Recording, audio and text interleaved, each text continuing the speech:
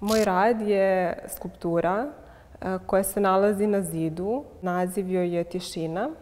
Ova skulptura je napravljena od dva različita materijala. Jedan deo nje čini drvo koje je obojeno plavo, a drugi deo čini žica koju sam ručno plela.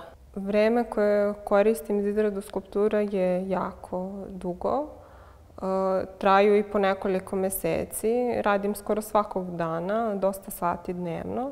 Od same pripreme do realizacije proces je isto tako jako dugačak. Kada radim ne koristim rukavice, nego radim golim rukama. U ovom slučaju je to bila žica koja mi je pravila velike probleme, odnosno e, tanka je i oštra i zabadala mi se često u prste.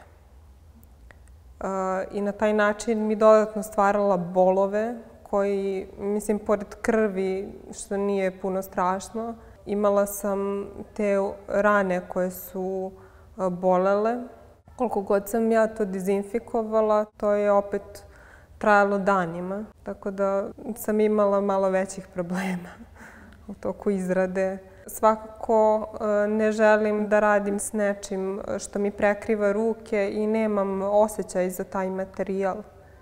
Ne mogu totalno da osetim kako ide forma, kako teče žica, kako kako ja to uvezujem. Ono što je bitno u mom radu je to da se jedan rad sastoji iz mnoštva elemenata koji se multipliciraju i ponavljaju i to ima veliku simboliku u beskonačnosti. Beskonačnost je ta koja je svuda prisutna i to stalno ponavljanje i ritma u životu i ritma prirode je značajna za nas kao živa bića i daje nam snagu, na primjer ritam srca koji nam omogućava život. One izgledaju završeno, ali zapravo nisu završene, nego su samo trenutak kada sam ja odlučila da prekinem taj rad. Taj trenutak je e, važan zato što na neki način ja zaokružim tu priču koja će se možda nastaviti, a možda i neće.